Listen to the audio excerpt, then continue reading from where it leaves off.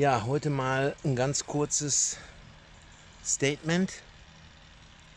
Ich komme gerade vom Einkaufen, deswegen laufe ich hier durch diesen Park zurück. Da ist der Rucksack. Ähm, kurzer Dank an diese wirklich wundervollste Wahrnehmung einer Zuschauerin.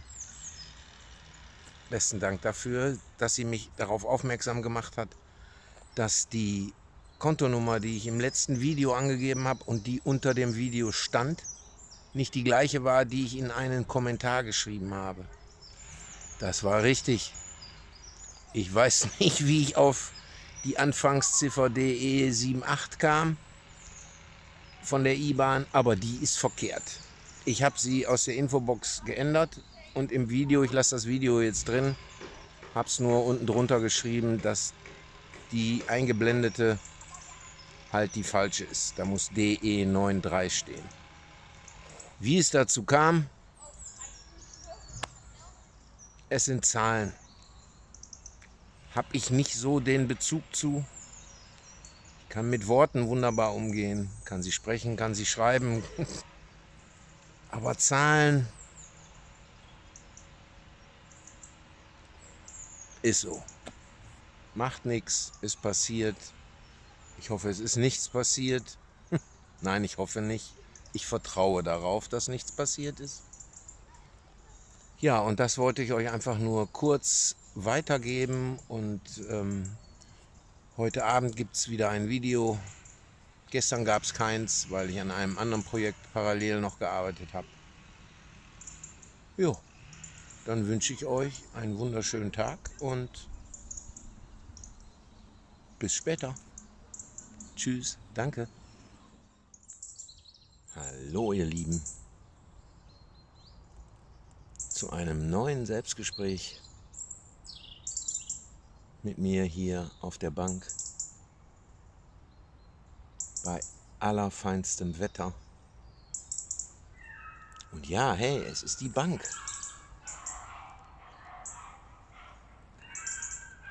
Ich hatte ein Tuch dabei. Jetzt ist sie sauber und trocken. ja, heute kam der Impuls, wir müssen ein heißes Thema anfassen. Also für mich ist es nicht heiß, aber für viele von euch. Religion. Kirche. In dieser Zeit des Wandels stellen viele, viele Fragen, stellen vieles, viele, vieles in Frage. Und dazu darf man auch die Religion in Frage stellen. Nicht die Lehren, die sie weiterreichen, denn in vielen Religionen wird das Gleiche ausgesprochen.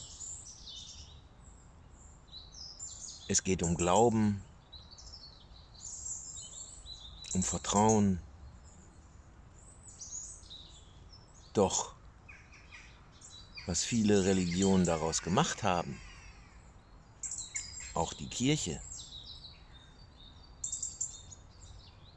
nein, ich bin ein zutiefst gläubiger Mensch.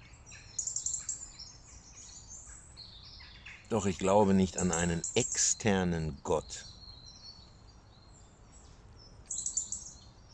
Wenn ich nur lang genug zu ihm bete, werden mir meine Sünden vergeben und so ein Zeug.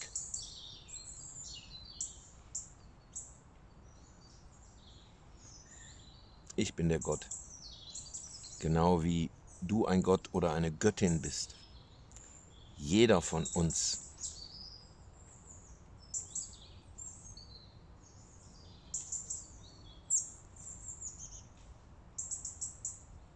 Wir alle sind ein ungetrennter Teil des einen Ganzen, des einen Bewusstseins,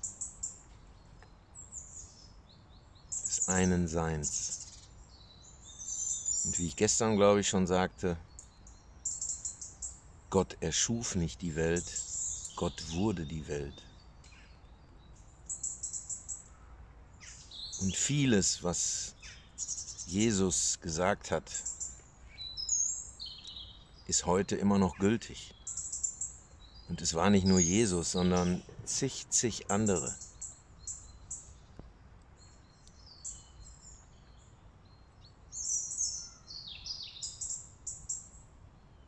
Wenn wir jemand anderen beschuldigen, verurteilen, bewerten, vergleichen, tun wir das im Grunde mit uns selbst.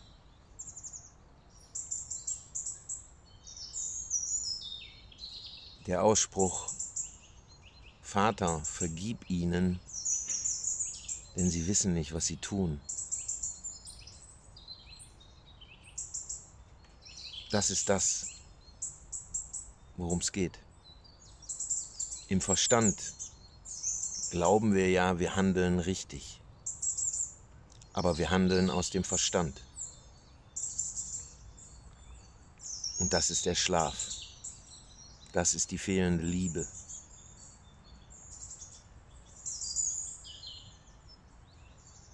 Kommst du ins Gefühl, ins Fühlen, ins Sein, hörst auf dein Herz, was für dich stimmt oder nicht. Denn dein Herz sagt dir das in Windeseile, in Echtzeit, in Punktzeit, in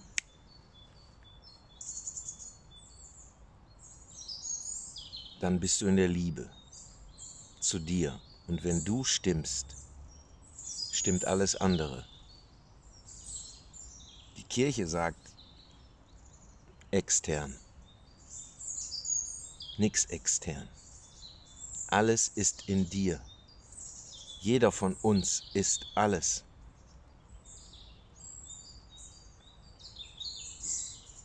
Denn es gibt nur das eine, das ich in Millionen erfahren möchte.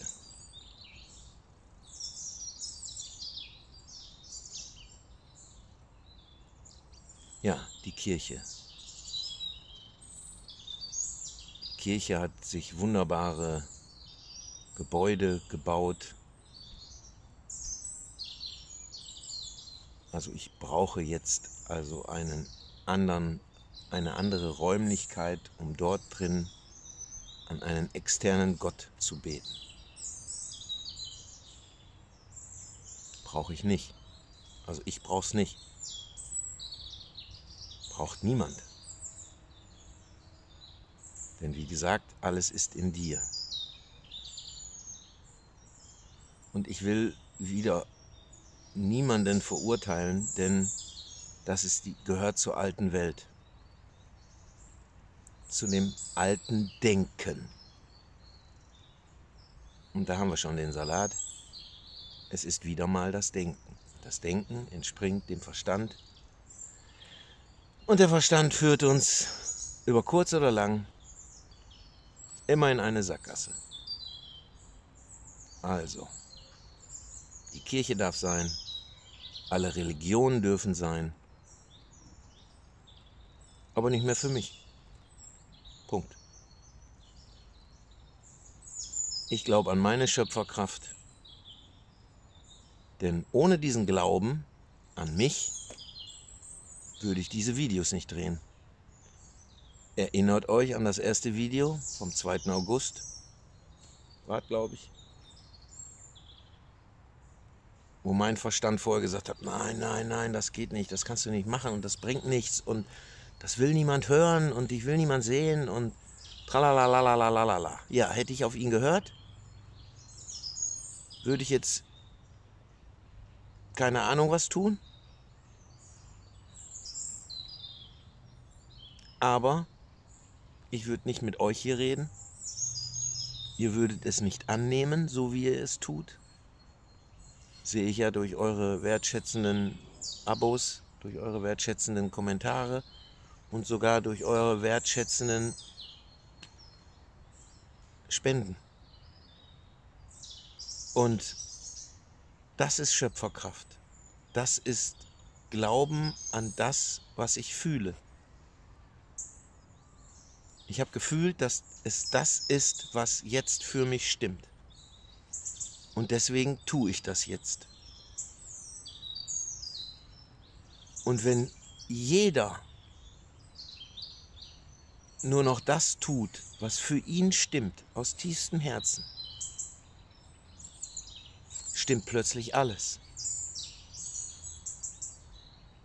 Und das ist der Wandel. Erst wird alles in Frage gestellt im Verstand, weil es ploppt ja jetzt alles hoch.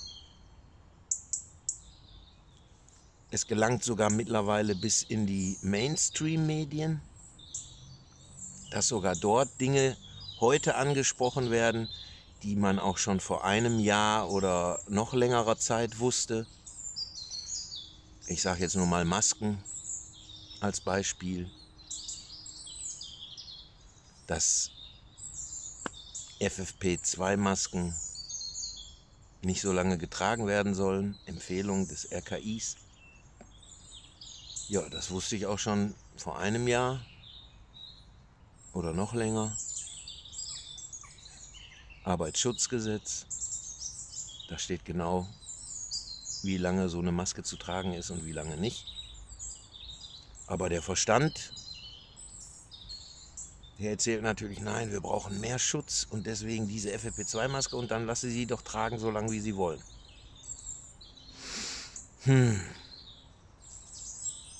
Und daran sieht man ganz schön, wie Verstand tickt. Er sieht immer nur das Kleine und nie das große Ganze.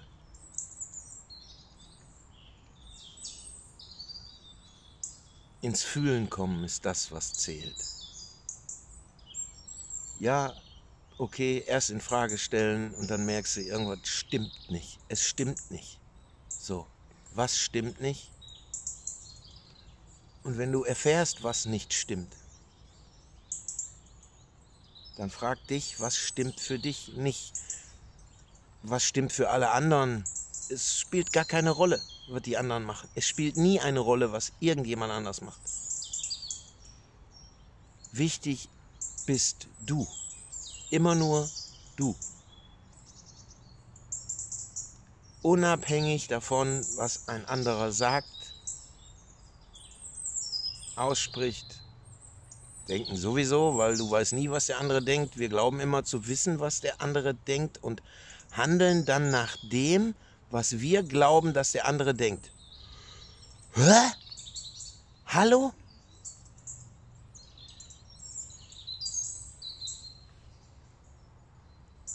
Leute, überlegt mal, wie illusorisch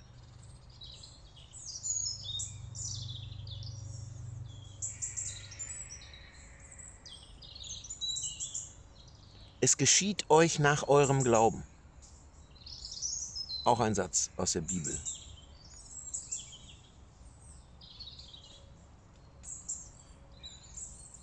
Glaube. Glaube an das, was du fühlst. Glaube daran, dass dich das Leben führt. Aber dazu darfst du in die Stille gehen und reinspüren, was sie dir sagt.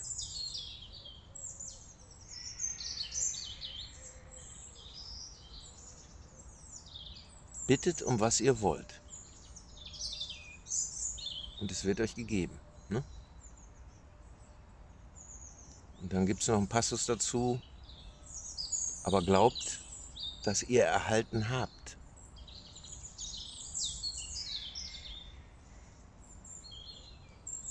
Du musst es dir selber glauben können. Dann wird es sich im Außen zeigen. Nicht ständig um irgendetwas bitten, weil dann passiert nichts. Da kannst du bitten, bitten, bitten, bitten, bitten und beten. Ändert sich nichts, weil das Universum wartet auf deine Anweisung und die Anweisung ist, ja bitte äh, mach, dass ich tralala. Ja, aber wie soll das gehen?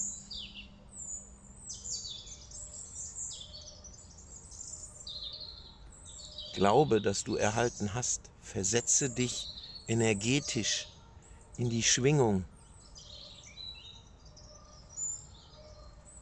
Dann bleibt dem Leben nichts anderes übrig, als es dir zu spiegeln.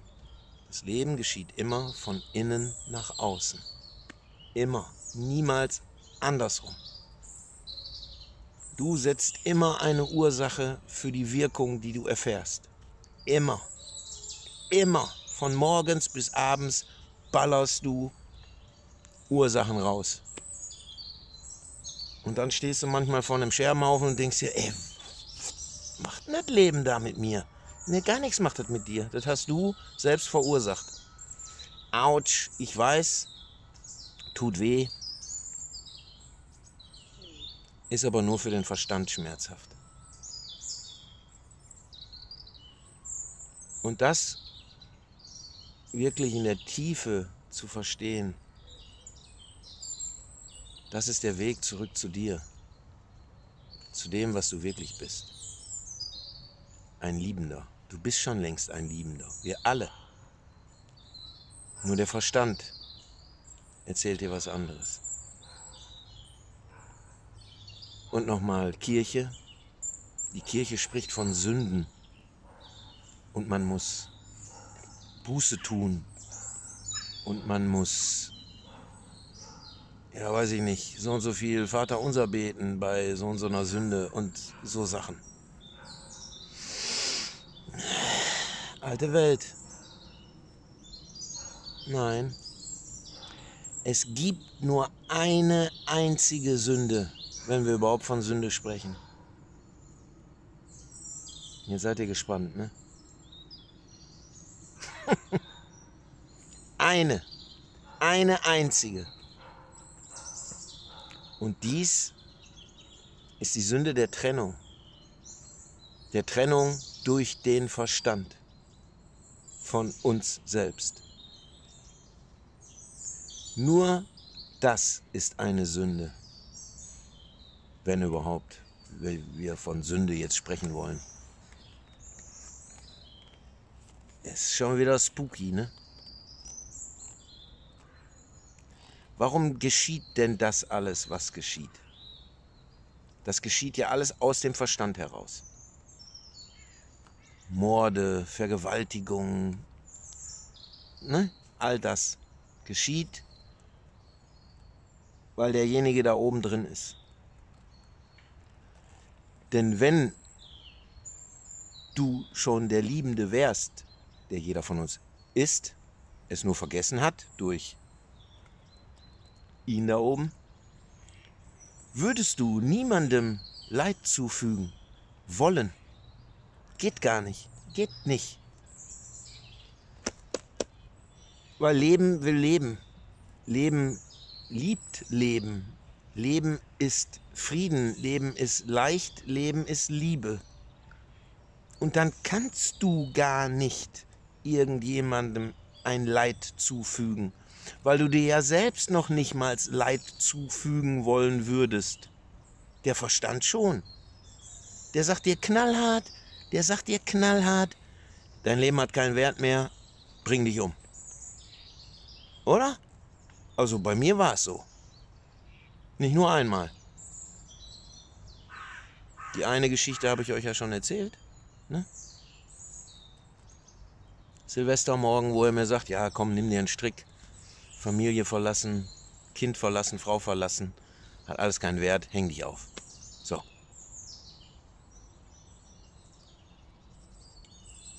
Das eine Sein, das wir alle sind, sagt sowas nicht, kann es gar nicht. Denn es ist immer für dich. Nur der Verstand, der ist gegen dich. Weil er auf deinem Thron sitzt und dein Leben führt. Und wie wir so schön wissen, hat das nichts an der Hacken. Schmeiß ihn runter. Trau dich. Trau dich. Hab den Mut.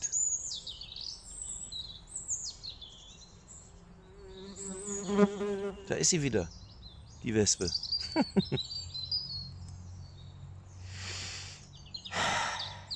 ja. Werde das oder werde zu dem, wie auch immer, was du schon immer warst. Erinnere dich, wer du wirklich bist. Ein Liebender.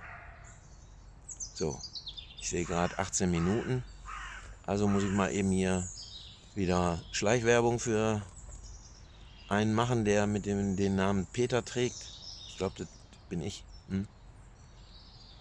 Also, ihr wollt Begleitung auf eurem Weg oder ein Stück Begleitung auf eurem Weg zurück zu euch selbst.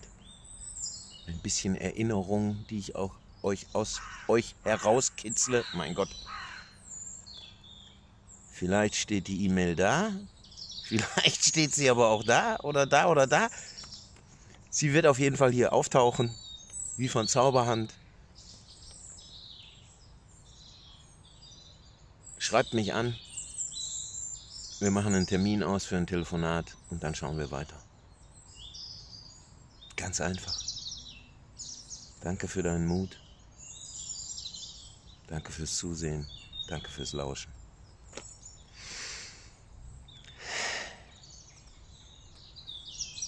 Bis später. Tschüss.